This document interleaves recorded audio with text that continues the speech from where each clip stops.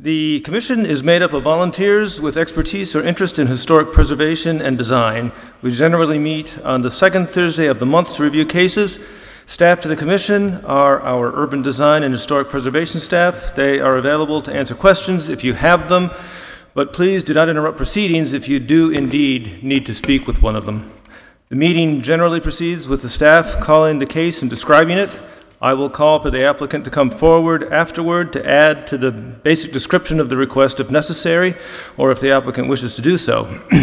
if so, the applicant should keep the presentation to 10 minutes or less. The commissioners will then have the opportunity to ask questions. At this point, I will ask if there is anyone in the audience who wishes to speak for or against the proposal.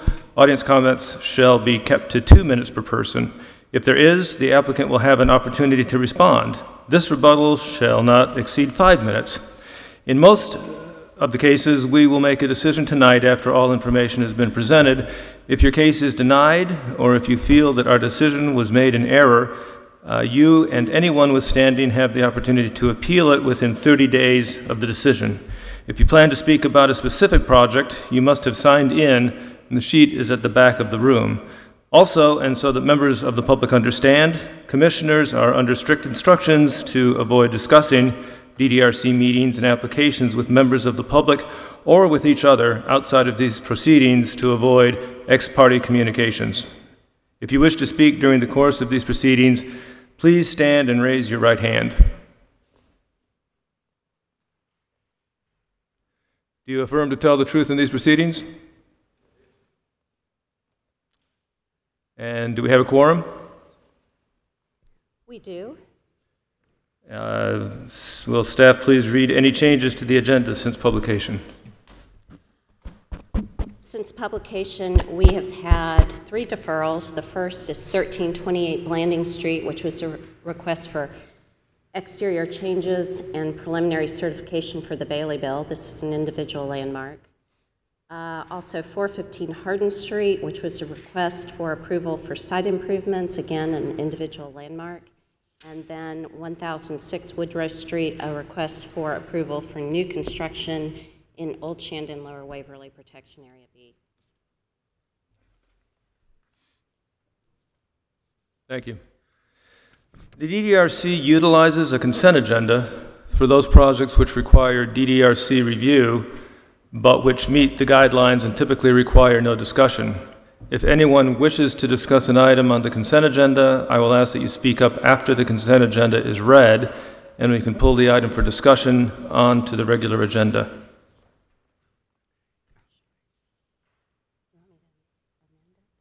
Uh, Staff, will you read the consent agenda? Well, our one case on it was deferred. Okay. Still have the minutes, Pardon? minutes. Mm-hmm. Minutes are still on consent agenda. Uh, I apologize, yes. We should have a uh, motion for March minutes, please. I was just about to do that. Is that, okay. Okay, good idea. Uh, And, uh, yes, okay. Uh, Call for a motion to approve the minutes. So moved. Are there any additions or deletions or changes to the minutes? I think I did that backwards, but uh, we already have a motion. All, all in favor? Aye? Okay. Presentation of cases on the regular agenda. If the staff will please introduce the first case.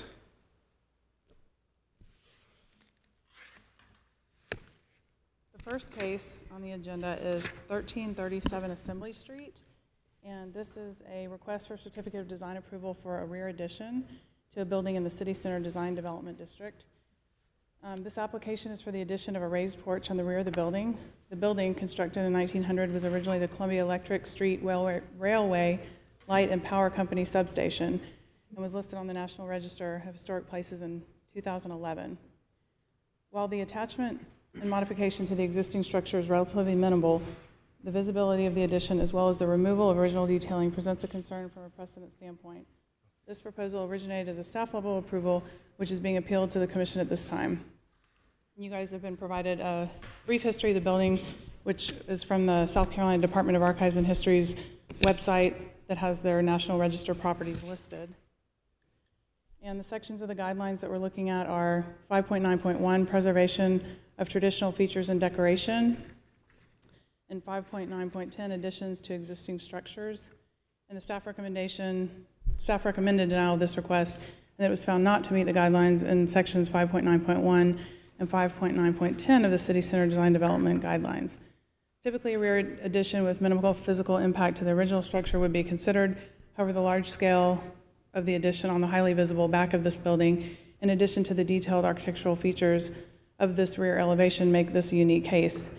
The commission may decide to grant an exception to the guidelines if they determine that the uniqueness of this request will not set a precedent for future proposals. So this is just, to- as a comment, it's just a little bit of an anomaly, because it, it is on the rear of the building, but the rear of the building is very visible, but there really isn't a way to add to this building that's not visible from the public right-of-way, so it was just sort of one of those ones that was outside of the normal rear deck addition. I think Josh um, Butcher is here from Lambert Architects to do a presentation or answer any questions.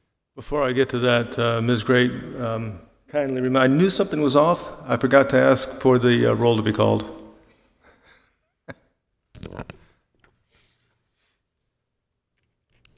Mr. Brim, Here. Mr. Cohn, Here. Mr. Daniel, Here. Ms. Fuller-Wilt, Here. Ms. Great, Here. Mr. Savory. Here. We do indeed have quorum.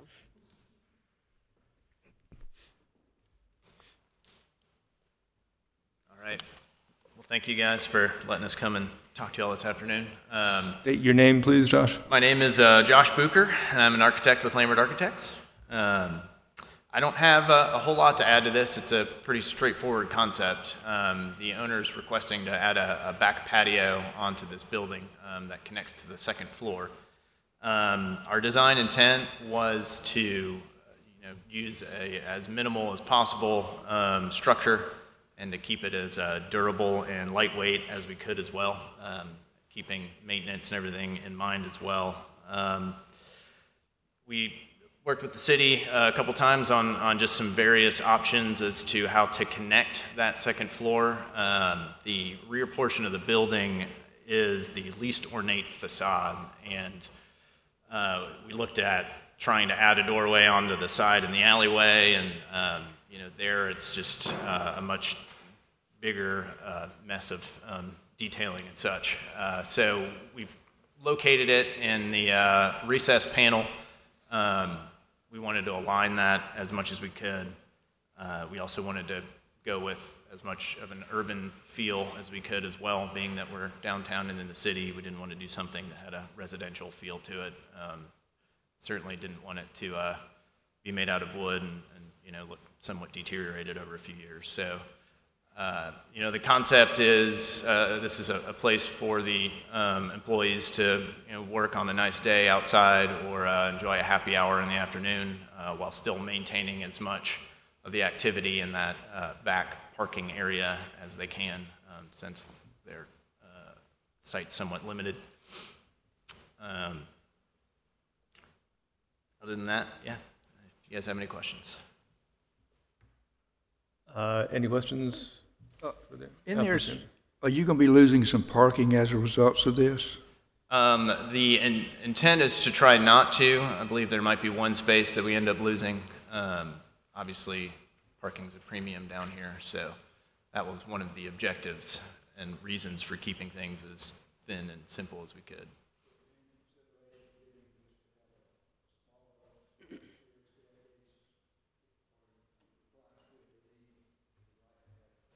Yeah, we, we started with a smaller design, um, but be, because of what they needed for their uh, employees and you know how they saw themselves growing in the future, uh, this was kind of where we ended up. Um, you know, one other, one other note is be, because of the size, we're required to have the two egress points off of that, one being the stair and then the, the doorway onto the second floor being our, uh, our second egress required, required egress opening. What's changed about the occupancy that's requiring a, a, a new means of egress? What's, what's changed? Um, we'll have over 50 people up there. Um, I mean, is, is it a different occupancy than it was before? Now, uh, you have business on the inside, it'll be an assembly occupancy on the outside, um, which just puts us over our limit to having. I mean, you've had interior renovations that have changed the occupant load? Um, with the addition of this patio. Okay, but, okay, following you? but not inside the building? No. You Not- haven't had, you haven't had to add a- an additional means of egress because of something that you've done inside the building? Um, we're revising the first floor, but nothing on the second floor, just this patio. But you haven't increased the occupant load, except for the patio itself? Okay. Yeah. I just, uh, all Yeah, right. sorry.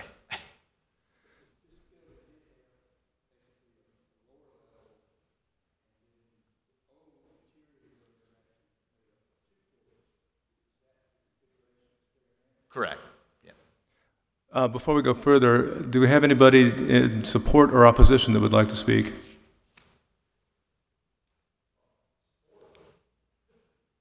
Uh, If you'd like to speak, you can come to the microphone, state your name. Have you, have you sworn in? Do you promise to tell the truth? Do you know anything about Mr. Daniel? Do you know anything about that building? Could you state your name, please? Oh, sorry, Bob Cooper. Mr. Turnipseed? I see. Well, we've tried to um, really make this building look phenomenal on the inside from what it used to look like. I run a software company. I got two of the other founders here, we've, um, we've grown from five to about 40. And really, our whole goal with this, we bought this so we could have a place to just make it the best place to write software in, in, in South Carolina. The kids that we compete, you know, they got, they got chance to go to Apple, Google.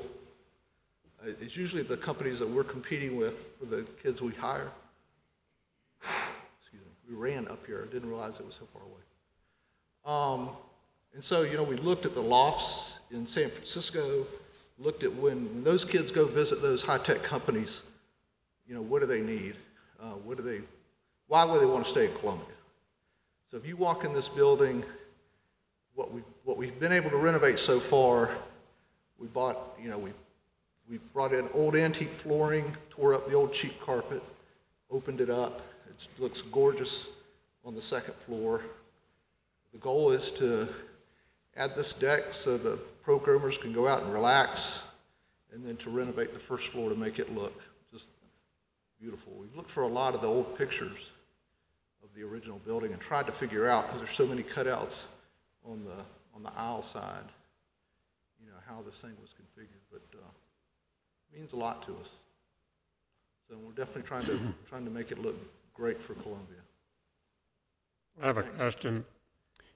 Uh, Are you gonna, is, there's security light on the rear of the building now, right? Say that one more time? Security light. Yeah, How are you gonna cope with that, this addition? You know, I don't know. Um, there wasn't a security light there when we moved in.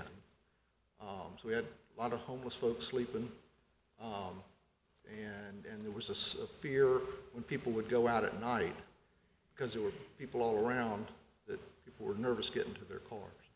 So, um, I hadn't talked to the architects about where we would relo- relocate the lights. Some of them are in the alleyway, which would stay where they're at. And I think there's on that back side, there's just the one, the one light up on the top. The other two are kind of the doorway areas. So you're gonna have lights for the structure, uh, say underneath, um, the terrace? You're gonna have lights below? Defer to, defer to these, these guys would know that better than I would. We will have all the uh, required egress and security lighting um, integrated below the patio and, and above. Thanks. Thank you. Any comments or questions from the commissioners?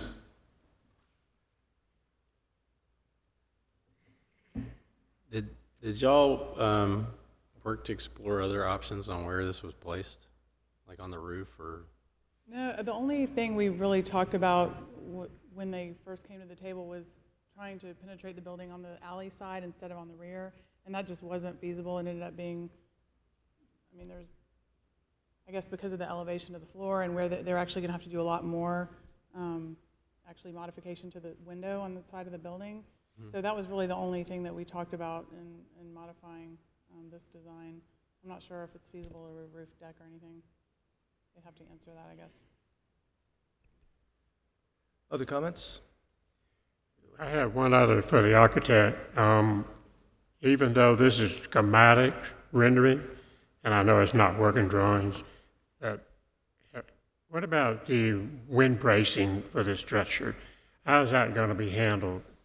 You're going to have X bracing of wires or row of metal or what? Uh, These are all moment frame connections, which uh, our structural engineer has assured us is uh, stable and Moment connections? Yes, sir. Okay. Um, And if you, uh, you know, if you want to flip back to the uh, alleyway, you'll see it, um, it's essentially a- a similar design to the Washington, Washington Street view. Um, So the, the issue with adding a door on that side is the, the floor height is just above where that uh, cross piece comes across. And our door height was actually up and into those um, archways, which we felt was more intrusive than the, uh, you know, square recesses on the rear back here. And I think the city agreed with us on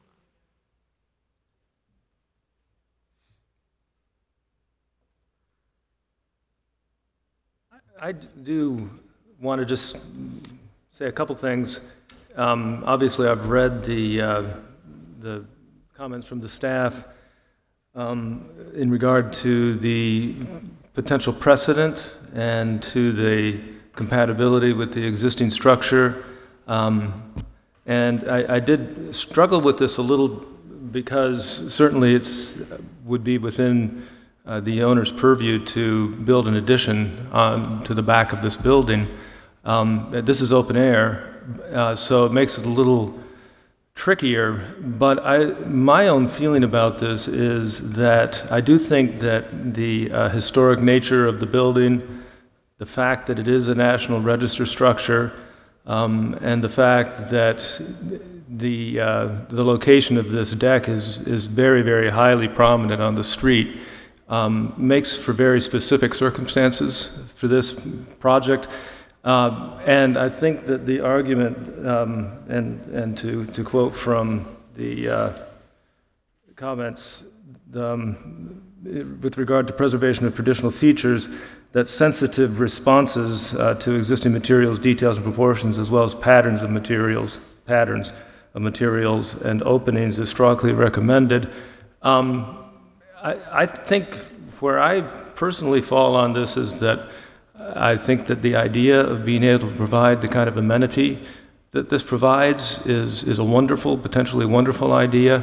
Um, I think that the, the issue or the aspect of something that is compatible in terms of texture and rhythm and materiality, um, specific, you know, particularly in terms of material, materiality and rhythm, um, I think is, is a very important consideration uh, because the idea of, of allowing a deck uh, in the back is because a deck in the back is, as it says here, uh, should occur in areas that are not visible from the street. The problem is you don't have an area that's not visible from the street.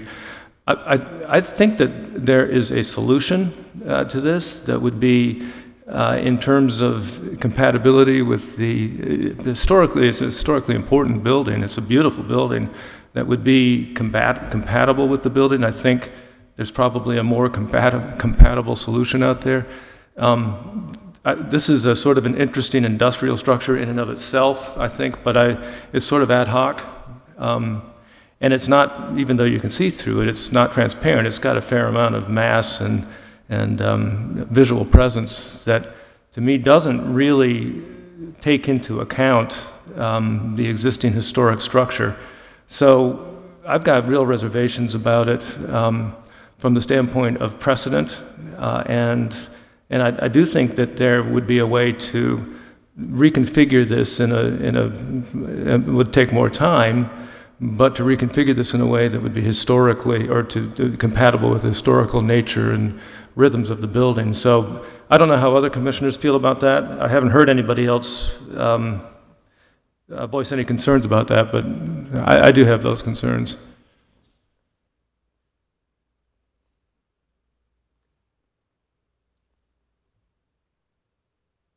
And it's very quiet.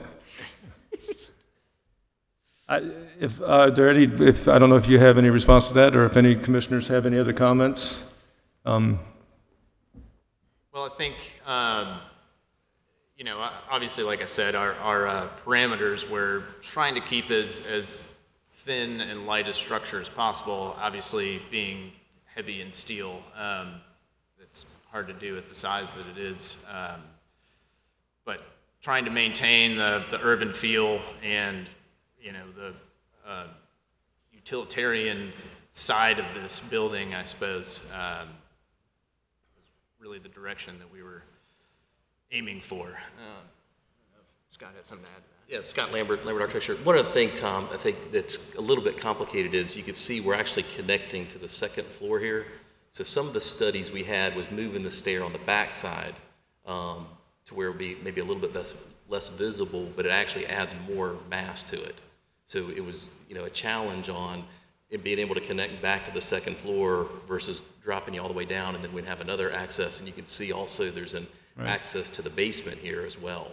So it's from a egress standpoint, it's a little bit tricky with all the different levels we're trying to connect and still gain access to that basement. Um, so just to give you a little insight on No, I, I can appreciate that. where it is. That's-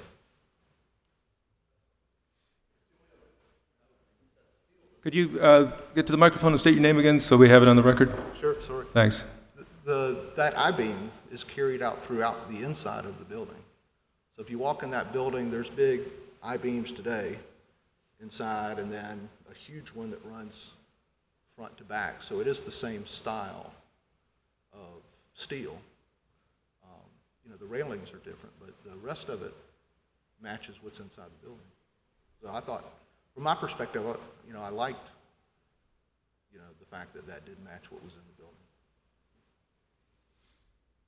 I guess if you're talking about trying to hide the mass, and it seems like if you, if you start covering things, then you bring the issue back that you're trying to avoid is with some of the population at nights, you need it open for security purposes, I would think, too.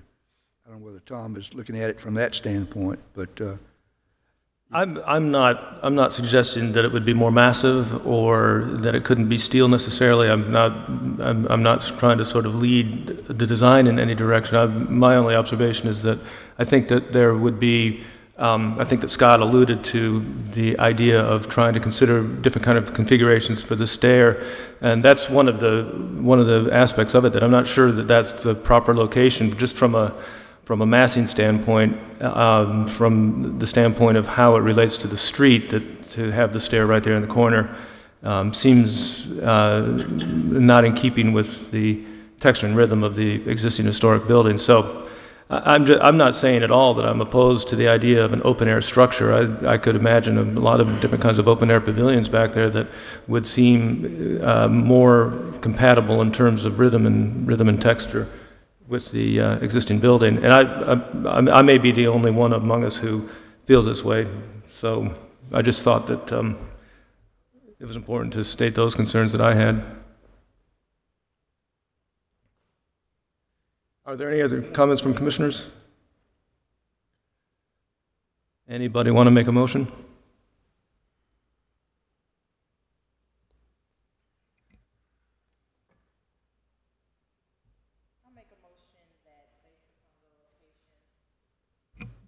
And the, uh, I guess the unique site plan, um, that the commission grant approval for the addition at thirteen thirty-seven Assembly Street.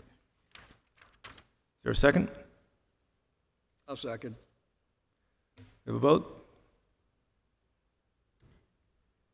Mr. Broom? Yes. Mr. Cohn? No. Mr. Daniel? Yes, Ms. Fuller Wilt? Yes. Ms. Great? Yes. Mr. Savory? No. Motion passes. All righty. Next case, please. Mr. Chairman, before she starts, uh, I have recused myself in this case as I have an ongoing relationship with the applicant on some pending legal, uh, real estate matters. Thank you.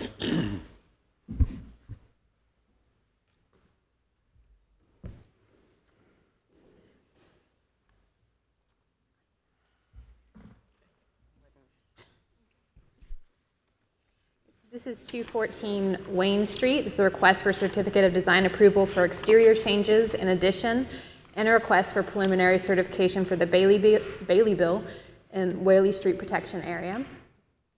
Uh, This is a one-story brick pool building built circa 1918, which is at the rear of the Pacific Community Association building, which is known as 701 Whaley today. Uh, This was a space for swimming lessons and recreation for the Associated Mill community. Here's some historic photos that show the interior, of the pool, um, as well as some large skylights that were originally part of the design. Um, This is today, the roof and skylights are gone, as well as most of the, uh, or all of the windows. Um, However, the tile work on the interior is still very well intact. So part of the um, scope of work would include restoring the missing features such as the roof and skylights and repairing the features that are still there. Uh, The renovation also includes the addition of approximately 845 square feet to the north side of the building for a lobby and catering space, as well as hardscaping along the west side of the building for new courtyard and entry patio. The new entry patio also includes a ramp for ADA access. Overall, staff has found that the proposal meets the guidelines for the Bailey Bill and for the Whaley Street Protection Area, with the exceptions being the placement of the ramp and details of the courtyard. First, the proposal for the large brick courtyard area directly in front of the historic building has the courtyard abutting the brick of the building. Staff suggests creating a small visual buffer, either with a change in material or with a small planting area, to break up this brick and visually differentiate the old from the new to be in keeping with the Bailey Bill ordinance. Second, due to the grade change on the lot and the high floor height of the, um, where the pool is located, the entry also includes a brick patio, staircase, and ramp to lead guests from the street into the building. Several schemes have been explored by the applicant for the placement of the ramp, with great consideration being given to its placement away from the historic building, which staff agrees with. However, there are still some current concerns with the current proposed scheme, which places the ramp and guardrails directly in front of the lobby area, which uh, creates a circuitous, cir- circuitous route into the building uh, with the ramp and railing obscuring the sense of entry as seen from the street. Staff suggests moving the staircase directly in front of the entry doors to create a direct line of entry to the building, with the ramp most likely being moved to the north. Um, Staff is happy to continue working with the applicant to work out the details of the ramp location. These are just some perspectives that show um, the sense of entry being obscured slightly with the ramp there. Uh, This is a- another scheme that they considered that includes some planting in front of the ramp. And this is very rough idea of a staff suggestion that includes the ramp being turned and moved to the north with the stair directly in front of the doorway. Staff recommendations are in two parts. Staff finds that the project complies with section 17-698 of the city ordinance and recommends granting preliminary certification for the Bailey Bill with the following conditions.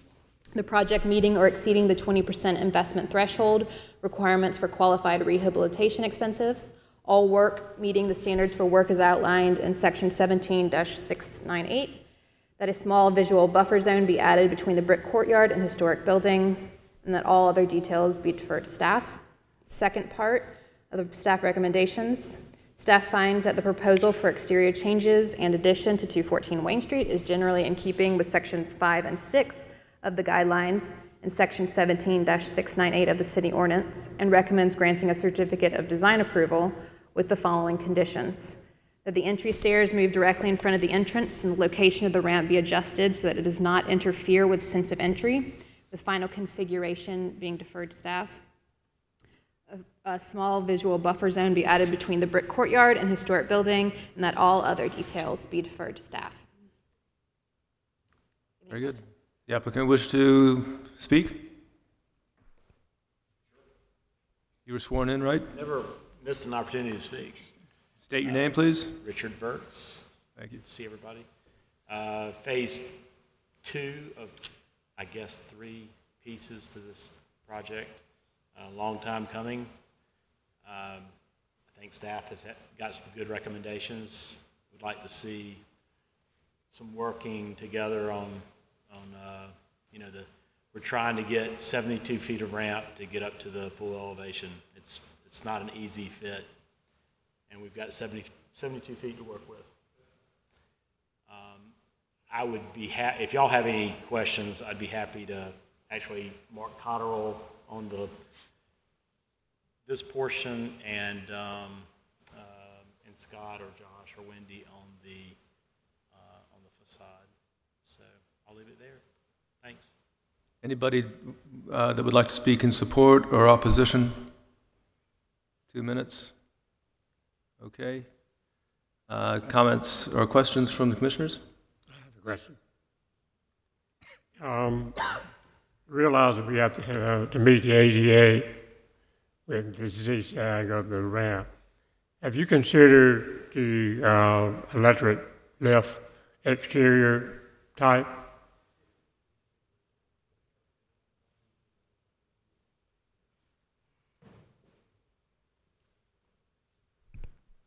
Hi, I'm Mark Cotterill, Grimble Cotterill Landscape Architects. We did consider a lift, and I think uh, we had some discussions with the architect, and we don't think that's an egress, of- you know, that would now not allow us to get people out and down fast enough. If that, you ask about a lift, You would have, I guess that's an interesting question, but you have enough space for an area of refuge, I assume? an area what? Area of refuge, that patio. I, I hadn't thought of the question, but just to clarify that. Scott Lambert, Lambert Architecture, we can't get far enough away from the building um, to meet the code. In order- Okay. Yes, if the building's on fire, can't get you far enough, and we're, we'll be out into the street. So that, that was the challenge. So yes, sir, we did look into the, the lift idea, but if you had more than, well, it would have to be on some kind of emergency backup, but if you had more than one person in a wheelchair, you're jammed up. So that was, that's the issue. Okay, thank you. Okay, I might want to add, not, the subject is, is good enough for me to understand. I do want to say thank you for making this improvement. I've been looking forward to seeing this. Other comments from commissioners?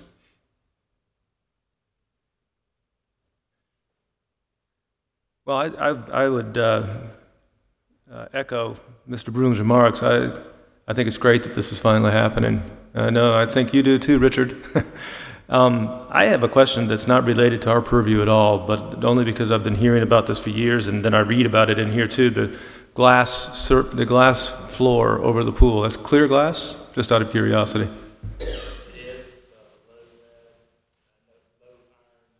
Uh huh. Very cool. Uh, So the other question I have, and it sounds like maybe we'll make this uh, relatively quick if I understood what you were saying, is that you're willing to uh, work with staff on all of these recommendations? Yes, I mean, it, In other words, let me ask you the question this way. If, if, if a motion is made with all of these caveats, you're, you're fine with that? You're comfortable with that? I, I, there, there are some things that I think that we need to, I don't want to just say I'm willing to do it right out of hand. I think we agreed that we'd sit down and try to, Right. as we put it yesterday, put 14 ounces in a 12-ounce jar. Right. Um, You know, one, one point, uh, th- I think we can figure out some stuff on the handicap ramp. I'm not a big fan of putting a planter against the side of the building. We don't have uh, the facade of 701 on Whaley and Wayne. The- The brick runs straight up to the, to the wall. Um, It was a SHPO thing when we did that, uh, not putting any planters or plants. Uh, Scott wants to address that, he can. Um, I'm sorry, when you said it's a SHPO thing, what was, their recommendation was to or to not do it? To not do it, to not put the planter in? Right, so, so SHPO doesn't want anything green up against Got it, the okay. building. They don't And- want to, they don't want. I got you. Go ahead. Scott Lambert. Um, Yeah, so basically with the nature of this building, much like the mills, um, there wasn't a lot of ornate landscape. right. Right, so I think that the challenge is, is Richard's talked about putting just planters, but not planting beds, for example, um, just to make it softer, and I think that's part of what the intent of the city is, but if, if I'm, if I'm correct, but I think the issue is if we go in and try to, you know, create a whole Mhm. landscaping, Mhm. it's, it's really not consistent with what the original I got nature of the building was. So I, Right, I and- just wanted clarification. I thought that's what Richard meant. Right, and to clarify, we, we did originally suggest a, a, like a green strip to separate a little bit of the new patio from the building. Mhm. But understanding SHPO's viewpoint, not wanting to do that. Okay. What we were thinking is that having some sort of different um, paving material aside from the bricks, we don't have brick meeting brick, but just a visual other paving material there would help separate the old from the new just a little bit more. So you could put your planters on that. We wouldn't have a landscape buffer or anything like that. I'm willing to look at anything. I, I just feel like I'd like to, you know, I'm kind of an OCD guy anyway, so having the consistency as it, as it flows through, it's, it's, it's a plaza. Uh-huh. It's, um, I understand.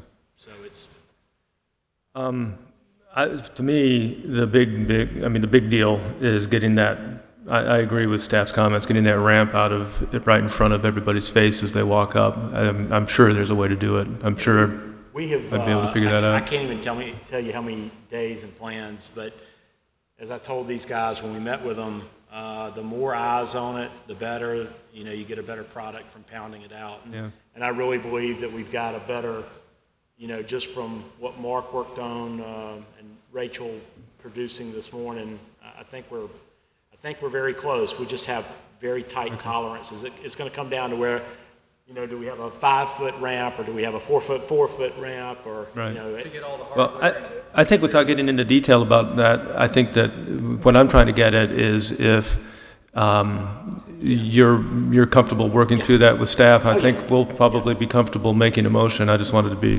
get clarification on that.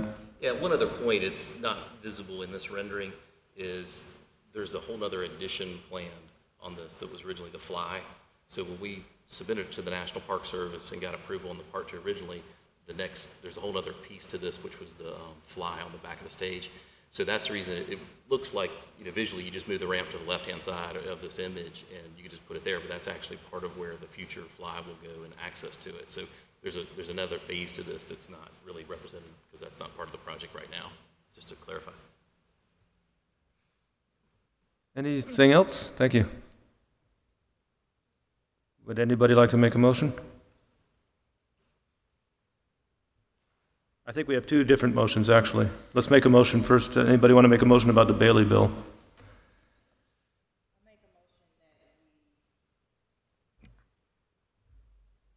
Grant approval for the grant certificate of design approval at 214 Wayne Street for the addition and preliminary certification for the Bailey Bill. Based upon the project complying with section 17698 of the city ordinance with the following recommendation, that the project meets or exceeds the 20% investment threshold requirements for qualified rehabilitation expenses, that all work meeting the standards for work as outlined in section 17-698, that a small buffer zone for low plants be added between the brick courtyard and historic building, and all details be deferred to staff. Is there a second? Uh, Pardon me, if we can amend. We are in agreement that a plant buffer zone is not necessarily required here, so I didn't want to make that a requirement. If we Okay. could just amend the motion to allow us to continue working with them on some ideas for uh, just some kind of visual buffer. So do you want to amend that motion? I amend the motion for the applicant and staff to evaluate um, the buffer zone are plantings. I, I think we can eliminate that uh, qualification from the, Eliminate altogether? yeah. Okay. Just a visual buffer is. So I make an additional amendment um, that the um, reference to the buffer zones and plantings uh, be um, redacted. Or do you need me to read it?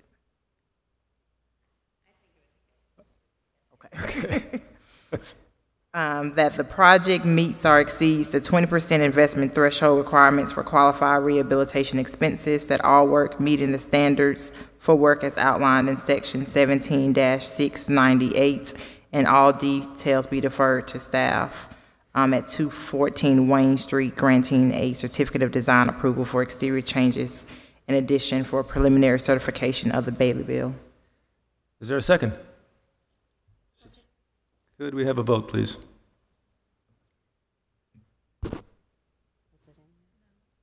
Did we mention the ramp in the motion? Uh, Is that, we're voting for just the Bailey bill now, right? That's a second motion. Did you, I'm sorry, y'all. It sounded like they were both included in one motion there. Um, You used the word and additions. Is that what you're talking about?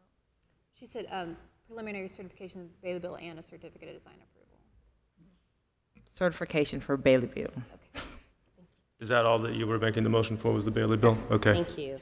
Just the Bailey bill, Just the correct? Bailey bill. This Okay. is just for the Bailey bill. Thank you. Okay. And we have a motion, uh, second? We did. Mr. Broom? Yes. Mr. Cohn? Yes. Ms. Fuller Wilt? Yes. Ms. Grape? Yes. Mr. Savory? Yes. All right, we have approval. And could we have a motion for the uh, certificate of design approval?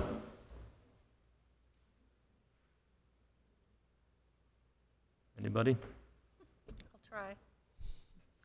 I make a motion that we approve the application for exterior changes in addition to 214 Wayne Street, as it is generally in keeping with sections 5 and 6 of the guidelines and section 17-698 of the city ordinance.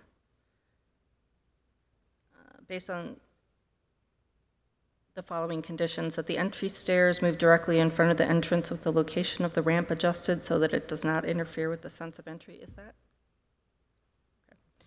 Okay. Uh, With final configuration to be approved by staff, and that all other details be deferred to staff. Do we have a second?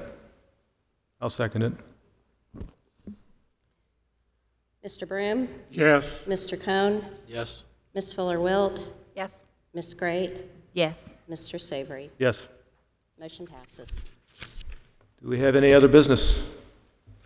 Um, Just to mention that the State Conference in Preservation will be coming up soon, so I'll send y'all out an email. We're happy to sponsor any members who would like to attend that, so that will be coming out shortly. All right. Motion to adjourn? Second? Second. All in favor? Aye. Meeting adjourned.